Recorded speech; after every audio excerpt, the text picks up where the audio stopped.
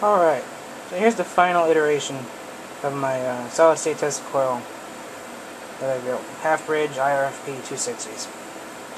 Basically, what I discovered was that the interruption frequency was in the audio range, and while it gave a cool variation of effects, not that cool because my coil was running rather high frequency at 1 megahertz or so.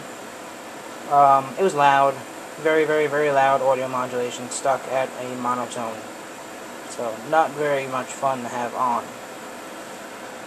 And I experimented with different values of the timing circuit and the 555 arrangement to uh, alter the PWM a bit or alter the pulse rotation frequency to be out of the uh, hearing range. I really couldn't get it low enough or high enough to the point that it wasn't annoying.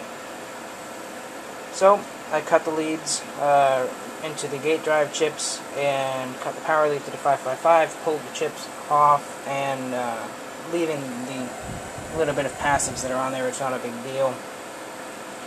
And I'm leaving this as it is. I was debating um, fixing up my gate drive transformers connections because they're still how they were from when I was testing.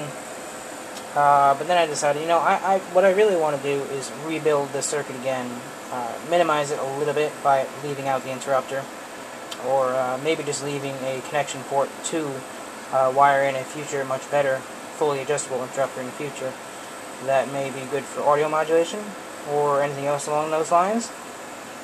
Um, so I'm going to rebuild the board eventually, and um, it'll be basically the same layout where I've got the uh, low voltage power supply there, half bridge there, and gate drive, which is kind of hidden by the gate drive transformer there, uh, just arranged a bit nicer. I've got a uh, little table fan cooling off the uh, FETs, which are nice and cold right now because I haven't had it running. I have the AC disconnected. I also want to get an actual heatsink for my uh, AC mains bridge. Though uh, I, I've never seen it get warm, but then again I do have it thermal pasted to a giant one foot square copper block, one eighth inch thick. So it's not like I'm giving it a chance to figure out if it's warm. But I haven't seen it uh, really get too warm. It's only drawing a little under 5 amps, which is kind of where I want it. I don't want anything higher than that because then I've got to deal with heating across the circuit and wires getting too warm and so on and so forth. Switched out to the new primary. It is uh, 600 volt rated, 10 gauge stranded solid copper wire. It's not very pretty, but it works. 10 turns.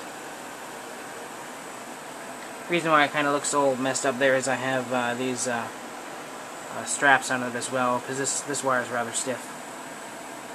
Got a new uh, primary coil form there, which covers up most of the secondary because I was having flashover issues. You can kind of see where I had to grind out a, uh, a, scar made from flashover. Have uh, the uh, top load I was using for my spark gap that was a coil set up to this now, and it works rather well with it.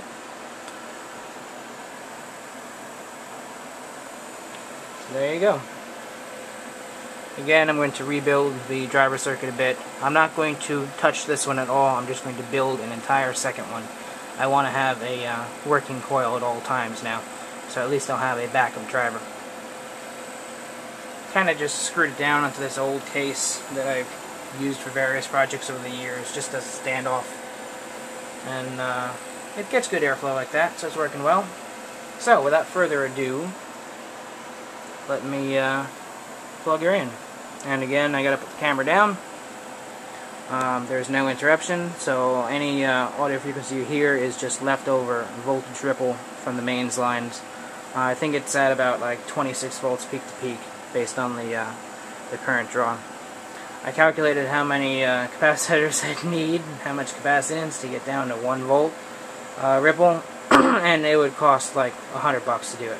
So I'm not even going to worry about that. I don't mind the 120 hertz hum. I'm sure you don't as well. Anyway, let's go.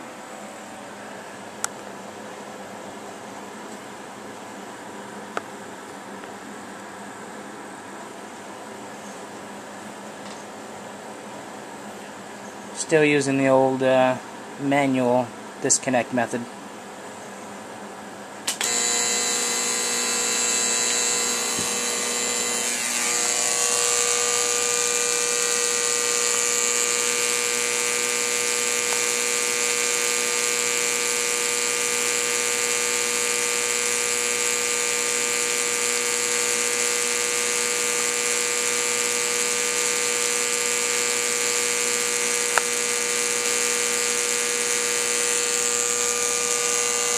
If I can reach around to my uh, light over here.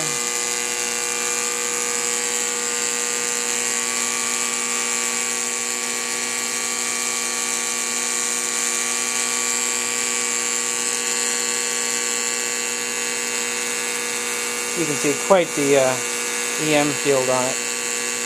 That's about a foot and a half away.